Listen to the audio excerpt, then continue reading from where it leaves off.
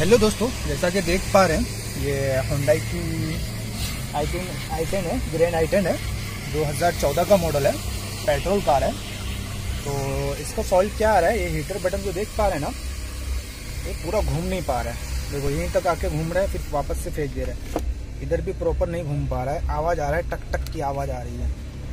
जैसा कि देख पा रहे हैं टक टक की आवाज़ आ रही है। इधर घुमाने में भी टक टक की आवाज़ आ रही है और पूरा बटन प्रॉपर घूम भी नहीं रहा है। तो इसलिए हम इसको खोलने जा रहे हैं। खोल के देखेंगे, इसको रिपेयर करेंगे और आपको दिखाऊँगा भी रिपेयर कैसे किया जाता है। तो इसको रिपेयर खोलने के लिए सबसे पहले मेरे को घड़ी का जो, ये जो वो, इसका मीटर का फाइबर खोलना पड़ेगा और उसके बाद फ्यूज बॉक्स का जो ये जो कवर दिया रहता है वो खोलना पड़ेगा क्योंकि ये यहाँ लॉक रहता है, उसको दबा के रखता है। उसके बाद ये जो रही, अपना ये फाइबर खोलना पड़ेगा वेंट का दोनों।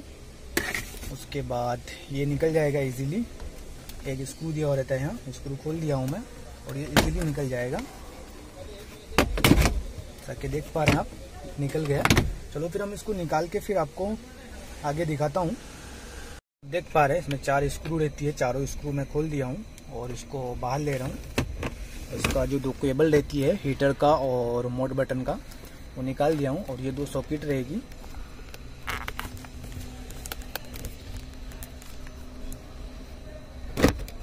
एक हाथ से अपने को जम नहीं रहा है।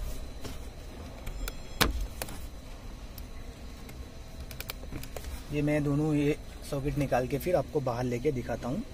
जैसा कि आप देख पा रहे हैं, मैं दोनों सॉकेट निकाल दिया हूँ। अब इसको बाहर ले लेता हूँ। ये जो देख पा रहे हैं ना बटन, ये हीटर का बटन है। ये यहीं से स्लीप मारता है। स्लीप क्यों मारता है?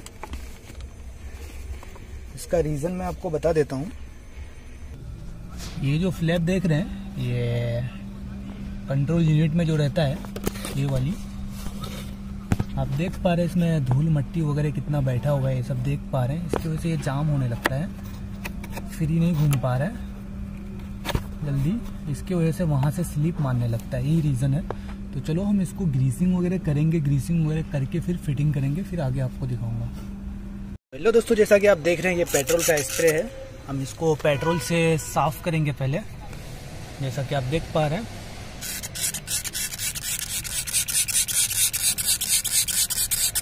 पेट्रोल से मैं इसको क्लीन कर लेता हूँ पहले पूरी तरीके से, फिर उसके बाद हम इसमें ग्रीस डालेंगे, फिर आगे आपको दिखाऊँगा। जैसा कि आप देख पा रहे हैं, मैं इसको पूरा क्लीन कर चुका हूँ। अब हम इसमें थोड़ा ग्रीस डाल देते हैं हल्का हल्का लिब्रिकेशन के लिए।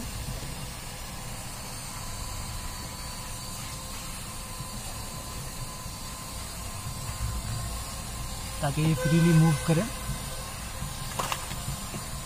चलो, हम अच्छे से ग्रीस लगा के फिर आपको दिखाता हूँ।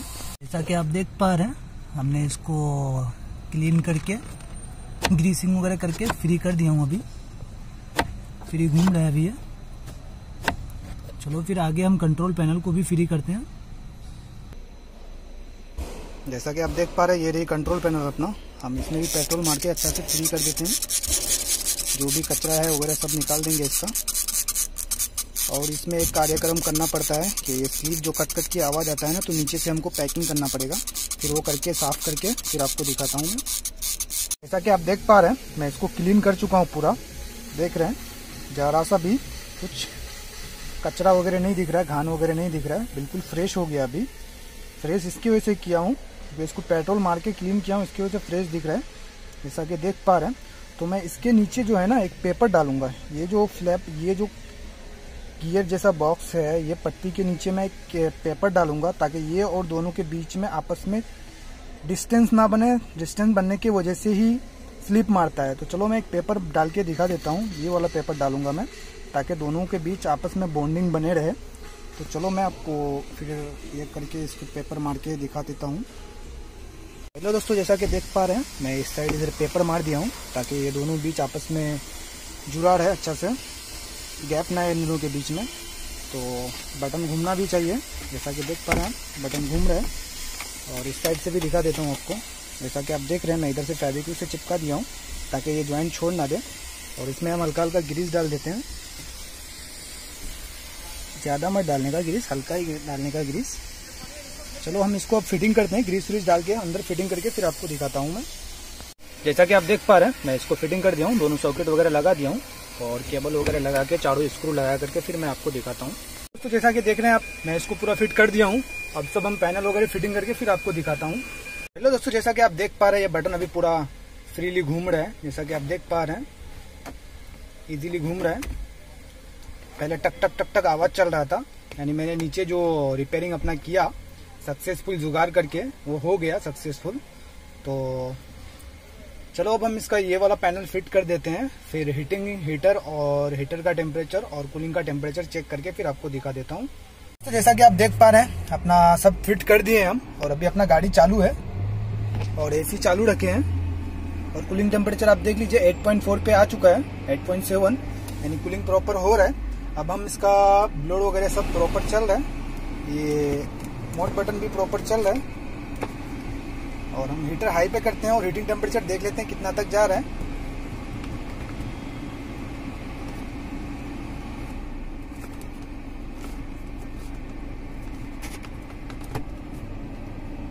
थोड़ा सा अभी भी जाम चल रहा है, क्योंकि इतना जाम चलेगा ही है तो हीटिंग टेम्परेचर देख लेते हैं। जैसा कि देख पा रहे हैं हीटिंग टेम्परेचर बढ़ रहा है। थोड़ी देर वीडियो होल्ड करता हूँ और देखता हूँ हीटिंग टेम्परेचर कितना तक जा रहा है। जैसा कि आप देख पा रहे फोर्टी टू तक आ चुका है, यानी अभी भी बढ़ रहा है, यानी इसका सभी सिस्टम प्रॉपर हो चुका है। तो जैसा कि मैंने आपको दिखाया, ये वाला बटन कैसे रिपेयर करके दिखाया मैंने आपको। तो हेलो दोस्तों, आप मेरे चैनल में अगर नए हो तो प्लीज़ लाइक कमेंट सब्सक्राइब करना ना भूलें। इस टाइप की प्रॉब्लम में अगर आप फंसे हुए हैं, इस टाइप की प्रॉब्लम आता ही चाहिए गेरेंट आइटन में, लगभग गाड़ियों में। तो आप मेरे से कमेंट करके पूछ सकते हैं कि ऐसा ऐसा प्रॉब्लम हो रहा है, क्या किया जाए तो मैं आपका ज़रूर मदद करूँगा या सहायता करूँगा। तो मेरे चैनल में आप अगर नए हो तो प्लीज़ ये सब कुछ मैं आपके लिए ही कर रहा हूँ, दिखाने के लिए सिर्फ़ आपको, सिखाने के लिए, बताने के लिए, बस। आप अगर मेरे चैनल में नए हो तो प्लीज़ लाइक, कमेंट, सब्सक्राइब करना ना भूले। Please please please, thanks for watching.